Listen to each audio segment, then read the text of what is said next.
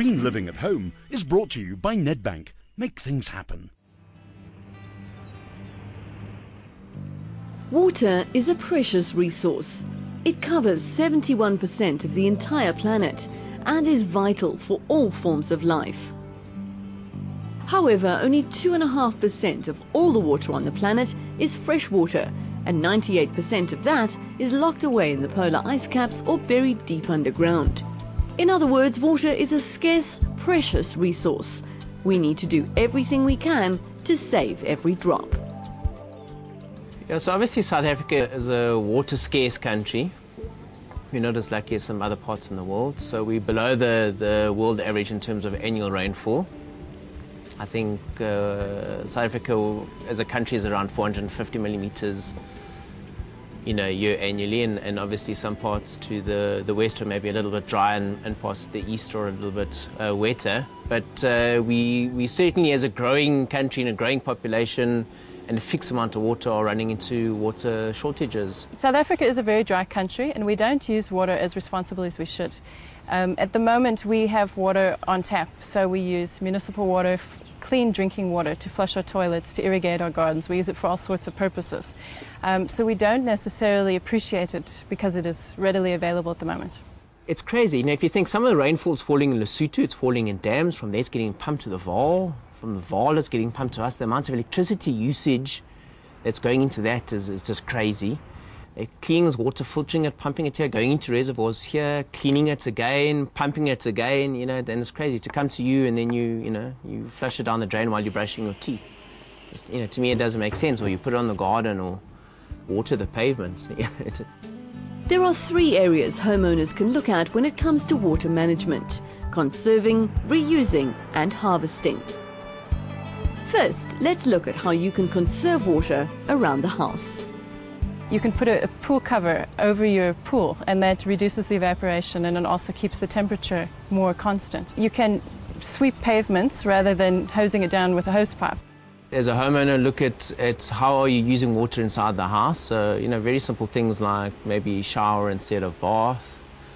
Uh, switch the tap off while you're brushing your teeth. You could, you know, have a look at you know, what is your toilet doing? Is it leaking? Or are there generally leaks on your property? You know, switch everything off and, and, and look at your water meter. Is it ticking over? If it's ticking over, you've got a water leak. Sort that out first because that's a, a huge waste of water.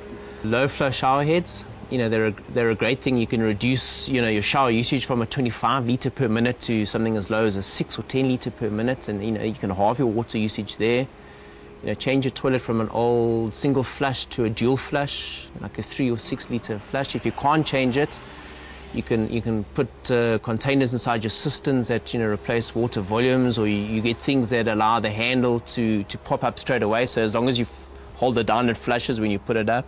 And even in the garden, you know, have a look at how you're watering. You know, are, are your sprinklers running every single day, the same amount, summer, autumn, winter, which is a, is a waste of water? You know, in winter we need to reduce our water usage.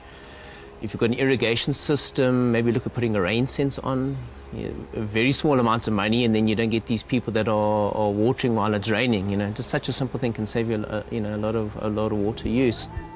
If you're already doing all these minor water saving measures and find that you're still using too much water, then it's time to look at installing a more complex solution.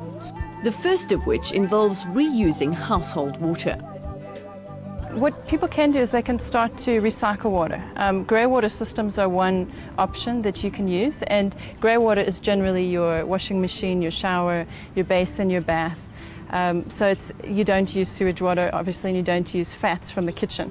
Um, but that can actually just be pumped directly on the garden if you don't use harmful chemicals in the water. So that's a very simple system. You can take it through a filtration process and you can put it into an automatic irrigation system if you'd like. Some people use it to go to garden sprayers, and there are some other people that would use it to go into a drip irrigation system. If you're considering using grey water back into the house, and the most common example of that would be for toilet flushing, then it's normally a good idea to treat the water a little bit before it goes back in. The other option is to install a rainwater collector. These harvest the rain that falls on your property and stores it for later use. Okay, rainwater systems are basically collecting the, the water either from a roof or it could be off of paving, um, but specifically we tend to use it from gutters off of the roof um, because that's its water in its cleanest form. And from there we take it into storage because we get most of our rain at a specific time of year and so we want to collect as much as possible. So from there, you can use it directly into the house if you wanted to. You could use it into an irrigation system or for any number of purposes. Obviously, the, the bigger the, the surface area that you're capturing from, the more rain you're going to get. We normally work on a, on a rough principle that for every millimeter of rain that falls on the roof and every square meter of roof that you have, you'll generate one litre. So if you have a 150 square meter roof and you have a 20 mil rainfall event, you're already capturing 3,000 litres. So rainwater can generate a large amount of volume very quickly that you would then store and use. By being water conscious and using one or both of these systems, you can dramatically reduce your consumption. This will not only benefit you and your wallet, but also help protect the environment. Next week, we'll take a look at indigenous gardens and the difference they can make to your outdoor space.